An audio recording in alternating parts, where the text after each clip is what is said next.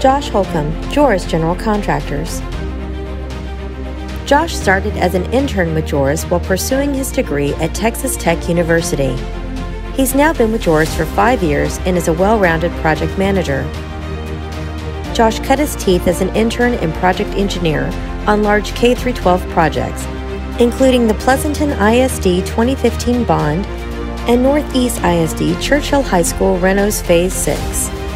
Josh completed a cath lab renovation facility on the occupied campus at Metropolitan Methodist, where he served as the PM for the project and ensured ongoing operations for the facility.